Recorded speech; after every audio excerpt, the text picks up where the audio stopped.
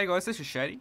So with the spring patch came a lot of changes to weapons, and I found myself playing around with different weapons and attachments to try and find what worked best for me after the patch. So I came up with the Ace, the AEK, and the AN94 as my top three assault rifles. Now the Scar is an amazing weapon, but it's actually banned in competitive play, so I didn't put that in there because it was counterproductive for me to use it. So obviously if you're not a competitive player, or you just like to use different weapons that you don't use in competitive, definitely give it a try if you can land those bullets, because it only has 20 in the clip, but it hits like a truck, so you can still take down multiple targets fairly easily. I didn't put the M16 or the M416 in this because I still feel that the Ace is a little bit stronger, especially with the 35 bullets in a clip since the latest patch.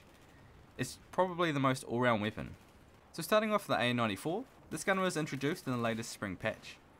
It's pretty much an all-round beast.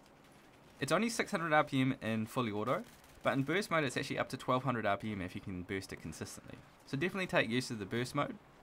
So initially I found this gun was incredibly strong at long range and also medium. The only thing I didn't like was since the patch there's added spread to when you're strafing and shooting, and I found it became really inconsistent and it was more noticeable than most assault rifles at those engagements when you're on the move. I used this gun for quite a wee while, I used it in competitive, I used it in public.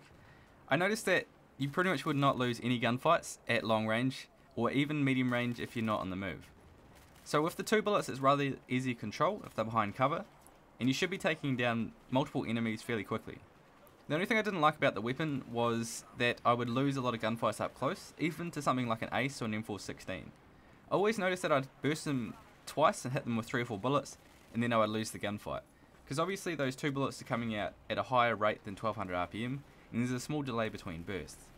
I'd also struggle to track people, having to burst, shoot, and move at the same time, and I don't know if it was something I wasn't used to, but I just found the weapon didn't work perfect, perfectly for me compared to some of the other weapons. So since the spring patch there's actually been quite a lot of changes to how the grips work on your weapon. So now if you have a grip attached to something like the AN94 or any gun in the game, it actually takes longer for your spread to reset. So you'll notice this quite a lot when you're actually bursting or micro bursting at targets. So if you're using a higher rate RPM gun, which you're going to be usually taking on people pretty close, you won't notice it so much, so you can actually still run them something like a stubby grip. On something like the AN94, which is a little bit more of a long range or medium range weapon, Using a grip can actually affect the accuracy quite substantially. So I found using nothing on the gun whatsoever was actually pretty good because it didn't have the disadvantages of using a grip. Or you just put a heavy barrel if you have really good recoil control and maybe a lower sensitivity.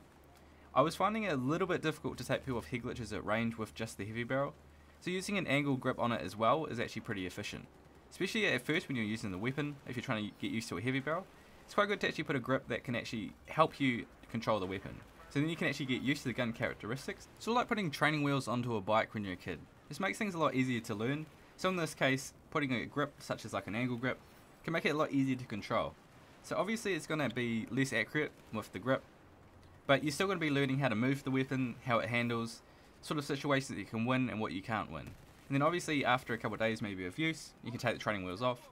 In this case, maybe it could be an angle grip or maybe even an ergo grip. So the Ace-23 is still probably the most well-rounded gun in Battlefield 4. It has a 770 RPM, and since the latest spring patch it now has 35 bullets in a magazine, which makes it incredibly easy to take out multiple targets very quickly. It's also a beast at medium range, and it's very proficient at long range also. It will only get beaten out by guns such as the M16, the SCAR, or now the AN94 which is quite a lot better than the Ace at range. I'm going to be using this weapon on some maps, so in competitive, I'd use it on maps like Siege of Shanghai and Paracel. Because a lot of the targets you're going to be engaging are going to be behind cover and also at ranges. I could use the AN94 or maybe even the M16, but you're still going to have to be able to get into the close range gunfights if they plant a bomb site or if you have multiple people rushing you. And that's where I feel the Ace is a little bit stronger than those other weapons. One of the disadvantages of the Ace-23 is that since the spring patch there's more spread when you're on the move and shooting. So I noticed that up close and at medium range sometimes, you notice the gun is actually quite inconsistent and it gets affected heavily by on the move. I tried to use the Ergo to counteract this, but it still feels really strange, and I felt that the higher RPM guns, for me personally, are a lot more efficient up close. Because obviously I like to throw good players aim off on the move, so jumping corners doesn't really work with Ace-23, and it's not as consistent for me. I'm personally going to be sticking to the AEK as much as I possibly can. Obviously I spoke about on the couple maps I'll probably be using the Ace, but the AEK for me works better for my game style, and its ability to take down multiple targets incredibly quickly and it also can give you the advantage of gunfights that you shouldn't win up close. Before the spring patch I was actually running the angle grip on the AEK. It made the gun pretty well rounded, made it a little bit more efficient at longer ranges as well. So you could use it up close, medium range, and then it was still pretty bad at long range, but it actually could work a little bit once you got used to it. So since the spring patch, I've actually been running the stubby grip, and I found for me that works the best.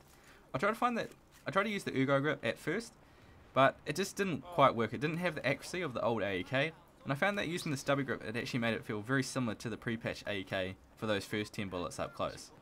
So that's why basically I'm using the stubby grip at the moment. So that's my brief rundown of the top 3 assault rifles since the spring patch, and how grips affect your weapon, and what attachments you might better use on your guns. So if you have any questions about this video, or you'd actually like to see a little bit more of a detailed explanation of how to shoot your weapon after the spring patch, I can do that. Also, if you have any questions about this video, or anything that I should know, leave it down below. And as always, thanks for watching guys, and I'll see you next time.